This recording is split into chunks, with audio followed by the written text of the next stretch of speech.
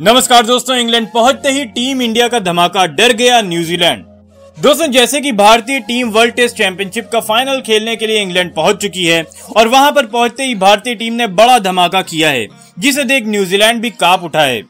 दोस्तों, बताएँगे पूरी खबर डिटेल से। क्या है पूरा मामला? साथ ही दोस्तों, क्रिकेट जगत से जुड़ी दूसरी बड़ी खबर में बात करेंगे आईसीसी का क्रिकेट फैंस को बेमिसाल तोहफा। आठ साल में होंगे दस वर्ल्ड कप। जी हाँ दोस्तों, इस खबर के बारे में भी हम आपको इसी वीडियो में बताएँगे तो इस वीडियो को अंत तक ज़रूर देखें। वहीं अगर आप भी चाहते हैं कि भारतीय टीम न्यूजीलैंड के खिलाफ वर्ल्ड टेस्ट चैंपियनशिप का फाइनल जीते तो इस वीडियो को एक लाइक करना बिल्कुल ना भूलिएगा। दोस्तों आईसीसी की बैठक में मंगलवार को कई बड़े फैसले लिए गए। आईसीसी ने अगले आठ सालों के लिए फ्यूचर टूर्स कार्यक्रम तैयार किया है। वहीं साथ में उसने इसी साल भारत में होने वाले टी ट्वेंटी वर्ल्ड कप के लिए बीसीसीआई को भी थोड़ी राहत दी है। इस बैठक में आईसीसी ने कई ऐसे फैसले किए, जो क्रिकेट फैंस के लिए बड़ी खुशखबरी की तरह हैं। आईसीसी अगले आठ सालों में दस वर्ल्ड कप का आयोजन करने वाला है। जी हाँ दोस्तों आईसीसी के फ्यूचर टूर्स प्रोग्राम के मुताबिक 2024 से 2031 तक चार टी वर्ल्ड कप होंगे, जिसमें 20 टीमें हिस्सा लेंगी। इसके अलावा दो वनडे वर्ल्ड कप का आयोजन किया जाएगा, जिसमें कुल 14 टीमों को शामिल किया जाएगा। वहीं इस दौरान दो चैंपियंस ट्रॉफी और चार वर्ल्ड टेस्ट चैंपियनशिप भी होंगी मतलब 10 वर्ल्ड कप और दो चैंपियंस ट्रॉफी का आयोजन होगा। वहीं दोस्तों, जिस चैंपियंस ट्रॉफी को आईसीसी ने हाल ही में बंद कर दिया था, वो 2025 में एक बार फिर आयोजित होगी। इसके बाद चैंपियंस ट्रॉफी का आयोजन 2029 में होगा। वहीं दोस्तों आईसीसी ने कहा है कि चार वर्ल्ड टेस्ट चैंपियनशिप होंगे और हर दो सालों में इसका फाइनल खेला जाएगा। इस तरह से देखा जाए तो हर साल क्रिकेट का कोई ना कोई बड़ा टूर्नामेंट होगा। किसी किसी साल तो दो दो बड़े टूर्नामेंट होंगे।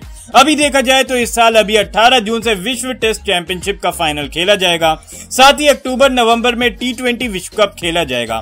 इसके बाद अगले साल यानी 2022 में फिर टी ट्वेंटी विश्व कप होगा। और साल 2023 में वनडे विश्व कप का आयोजन किया जाना है। तो क्रिकेट के फैंस तैयार हो जाएँ और लगातार शानदार क्रिकेट का आनंद लेते रहें। वहीं दोस्तों, बात करें टीम इंडिया की तो भारतीय टीम न्यूजीलैंड के खिलाफ वर्ल्ड टेस्ट चैंपियनशिप का फाइनल खेलने इंग्लैंड पहुँच चुकी है।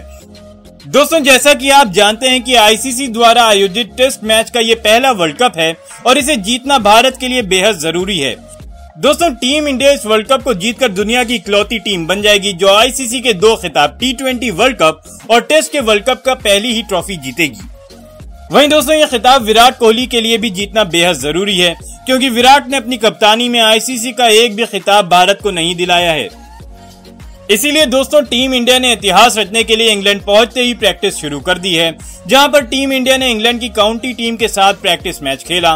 दोस्तों, प्रैक्टिस मैच में पहले दिन इंडिया ने टॉस जीतकर बल्लेबाजी करते हुए शानदार शुरुआत की। ओपनिंग करने आए रोहित शर्मा और के राहुल ने पहले विकेट के लिए डेढ़ सौ रनों की ताबड़तोड़ साझेदारी कर डाली।